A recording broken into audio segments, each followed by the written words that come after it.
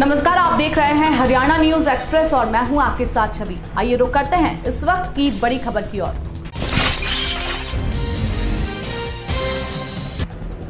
उपायुक्त के दिशा निर्देश और जिला कार्यक्रम अधिकारी, महिला एवं बाल विकास विभाग यमुनानगर के कुशल मार्गदर्शन में जिला बाल संरक्षण इकाई के लीगल अधिकारी रंजन शर्मा ने स्वराज पब्लिक स्कूल दामला यमुनानगर में लैंगिक अपराधों पर बने कानून, पास्को अधिनियम 2012 और किशोर न्याय अधिनियम 2015 पर जागरूकता शिविर का आयोजन किया।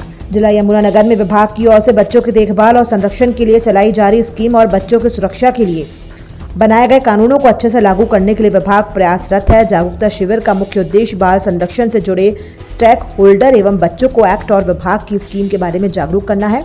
बच्चों के प्रति अपराध बढ़ रहे हैं। बच्चों का हर किसी पर विश्वास कर लेना कई बार उनके लिए हानिकारक बन जाता है। ऐसे में बच्चे लैंगिक अपराधों का शिकार हो जाते हैं। बच्चे अपराध होने पर किसी को बता नहीं पाते, जिसके कारण मानसिक रोगों का भी शिकार हो जाते हैं। इसलिए बच्चों का संरक्षण बेहद आवश्यक है। यमुनानगर से हमारे संवाददाता राजीव जौली की रिपोर्ट। हमारे फेसबुक पेज को लाइक फॉलो और शेयर करें। साथ ही यूट्यूब चैनल को लाइक करें सब्सक्राइब करें और ताज़ा खबरों के लिए बेल आइकॉन को दबाना न भूलें।